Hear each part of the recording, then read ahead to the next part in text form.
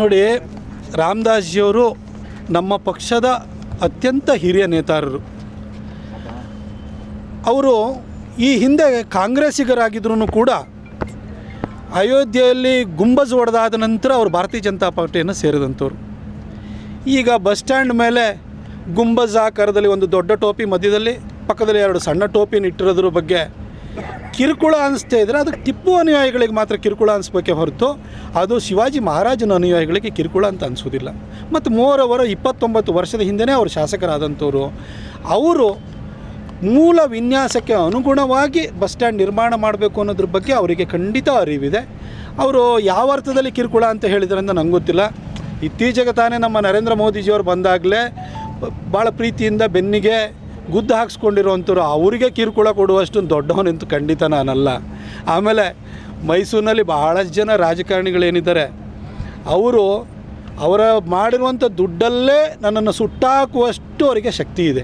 ಅಂಥವ್ರಿಗೆ ಕಿರುಕುಳ ಕೊಡುವಷ್ಟು ದೊಡ್ಡ ದುಡ್ಡಲ್ಲೇ ನನ್ನನ್ನು ಸುಟ್ಟಾಕುವಷ್ಟು ಅವರಿಗೆ ಶಕ್ತಿ ಇದೆ. ಅಂಥವ್ರಿಗೆ ಕಿರುಕುಳ ಕೊಡುವಷ್ಟು ದೊಡ್ಡ ಮನುಷ್ಯ ನಾನಂತೂ ಅಲ್ಲ. ಅವಂಥ ಶಕ್ತಿನೂ ಕೂಡ ನನಗೆ ಇಲ್ಲ. ಅವ್ರು ಯಾವುದೋ ಬೇರೆ ಅರ್ಥದಲ್ಲಿ ಯಾವ ಕಾರಣಕ್ಕೆ ಹೇಳಿದಾರೋ ನನಗೆ ಗೊತ್ತಿಲ್ಲ. ಅವ್ರು ಏನೋ ಬೇರೆ ಏನೋ ಇನ್ನೇನೋ ಕಾರಣಗಳಿತ್ತು ಅಂತಂದರೆ ಅದಕ್ಕೆ ನಾನು ನನ್ನ ನಾನು ಅದಕ್ಕೆ ವಿವರಣೆನೋ ಅಥವಾ ಸಮರ್ಥನೆನೋ ಅಥವಾ ಸಬೂಬನ್ನು ಕೊಡ್ಲಿಕ್ಕೆ ಸಾಧ್ಯ ಇಲ್ಲ. ಬಹುಶಃ ಅವ್ರನ್ನೇ ಕೇಳ್ಕೊಳ್ಳಿ.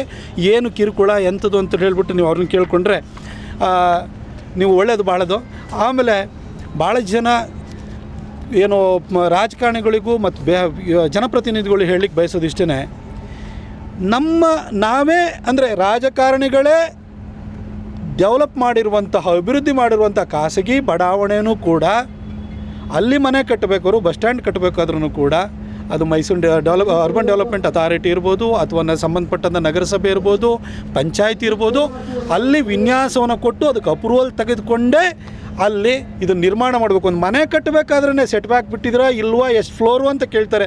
ವೈಲೇಷನ್ ಆಗಿದೆ ಅಂತ ಹೊಡೆದಾಕ್ತಾರೆ ಕ್ರಮ ಕೈಗೊಳ್ತಾರೆ ಸಿ ಆರ್ ಕೊಡ್ಬೇಕಾದ್ರೆ ಆಟ ಆಡಿಸ್ತಾರೆ, ಹೀಗೆಲ್ಲ ಇದೆ. ಇದೆಲ್ಲದ ಅವ್ರಿಗೆ ಗೊತ್ತಿದೆ.